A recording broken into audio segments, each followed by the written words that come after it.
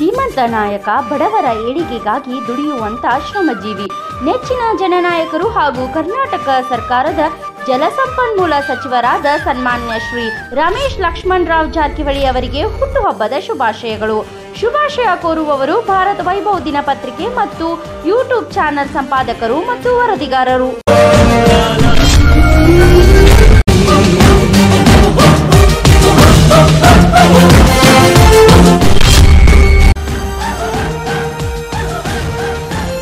ಅವನ ದಾವಣಗೆರೆ ಜಿಲ್ಲೆ green zone ಪಟ್ಟಿ ಸೇರಿದ್ದ ದಾವಣಗೆರೆಗೆ ಮತ್ತೆ ಕೊರೋನಾ ವೈರಸ್ ಒಕ್ಕರಿಸಿದೆ ಇಂದು ಹೊಸದಾಗಿ ಆರು ಪ್ರಕರಣಗಳು ಪತ್ತೆಯಾಗಿದ್ದು ಸೋಂಕಿತರ ಸಂಖ್ಯೆ ಹತ್ತಕ್ಕೆ ಏರಿಕೆಯಾಗಿದೆ.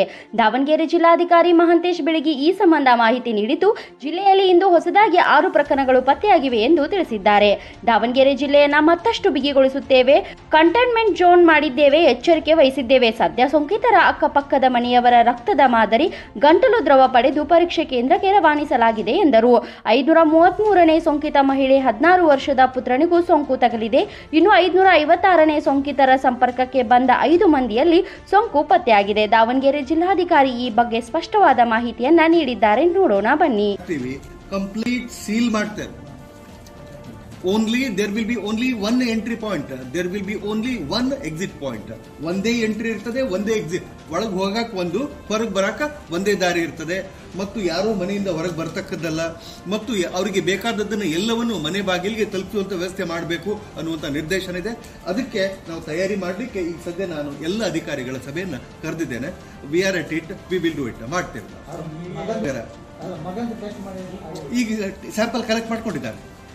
ಸ್ಯಾಂಪಲ್ ಕಲೆಕ್ಟ್ ಮಾಡ್ಕೊಂಡಿದ್ದಾರೆ. ಅವರ ಇಬ್ಬರು ಮಕ್ಕಳು ಇಬ್ಬರು ಮಕ್ಕಳು ಸ್ಯಾಂಪಲ್ ಕಲೆಕ್ಟ್ ಮಾಡ್ಕೊಂಡಿದ್ದಾರೆ. ಗಂಡ, ಗಂಡವ್ರದ್ದು ಸ್ಯಾಂಪಲ್ ಕಲೆಕ್ಟ್ ಮಾಡ್ಕೊಂಡಿದ್ದಾರೆ. ಪ್ರೈಮರಿ ಕಾಂಟ್ಯಾಕ್ಟ್ಸ್ ಅಂತ ಎಷ್ಟು ಜನ ಇದಾರಲ್ಲ ಅಷ್ಟರದ್ದು ಸ್ಯಾಂಪಲ್ ಕಲೆಕ್ಟ್ ಮಾಡ್ಕೊಂಡು ಇವತ್ತು ಸಾಯಂಕಾಲದೊಳಗನೆ ಕಳಿಸುವ ವ್ಯವಸ್ಥೆ ಮಾಡ್ತೇವೆ.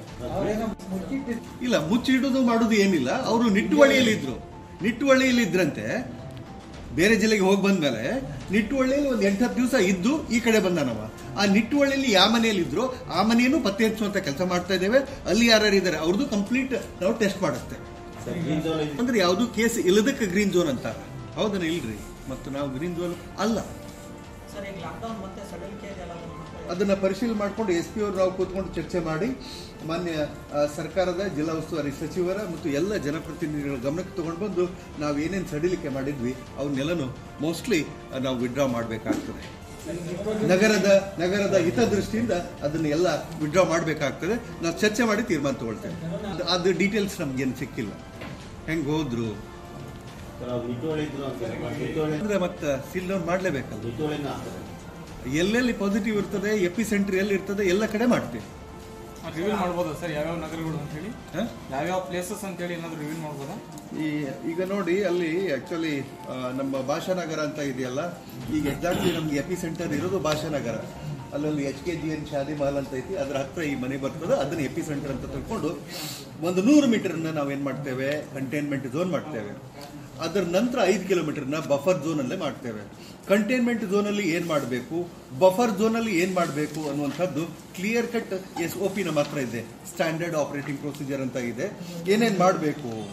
ಪೆರಿಮೀಟರ್ ಕಂಟ್ರೋಲ್ ಮಾಡಬೇಕು ಎಂಟ್ರಿ ಎಕ್ಸಿಟ್ ಪಾಯಿಂಟ್ ಸ್ಕ್ರೀನ್ ಮಾಡಬೇಕು, ದಿನಾಲೂ ಹೌಸ್ ಟು ಹೌಸ್ ಸರ್ವೆ ಮಾಡಬೇಕು, ಆಮೇಲೆ ಆಕ್ಟಿವ್ ಆಗಿ ಸರ್ಚ್ ಮಾಡಬೇಕು ಬೇರೆ ಬೇರೆ ಹೊಸ ಕೇಸ್ಗಳಿಗೆ. ಮತ್ತು ಎಲ್ಲ ಐ ಎಲ್ ಐ ಕೇಸಸ್ ಅಂತ ಹೇಳ್ತೀವಿ ಅವನ್ನ ನಾವು ಟೆಸ್ಟ್ ಮಾಡಬೇಕು. ವಲ್ಲರೇಬಲ್ ಗ್ರೂಪನ್ನು ನಾವು ಐಡೆಂಟಿಫೈ ಮಾಡಿ, ಯಾರು ಹೆಚ್ಚಿನ ರಿಸ್ಕ್ ಇರುವಂತಹ ಜನ ಇರ್ತಾರೆ. ಅಂತವ್ರನ್ನ ಕಾನ್ಸಂಟ್ರೇಟ್ ಮಾಡಿ ಅವರ ಸ್ಕ್ರೀನಿಂಗು ಟೆಸ್ಟಿಂಗ್ ಎಲ್ಲ ಮಾಡಬೇಕಾಗ್ತದೆ, ಮಾಡ್ತೇವೆ. ಬಫರ್ ಝೋನ್ ಅಲ್ಲಿ ಕೂಡ, ಅಲ್ಲಿ ಪೆರಿಮೀಟರ್ ಕಂಟ್ರೋಲ್ ಇಲ್ಲದೆ ಇದ್ರು ಕೂಡ house to house survey I L I SARI cases ಎಲ್ಲ ಕಂಡು ಹಿಡಿಯುವಂಥದ್ದು.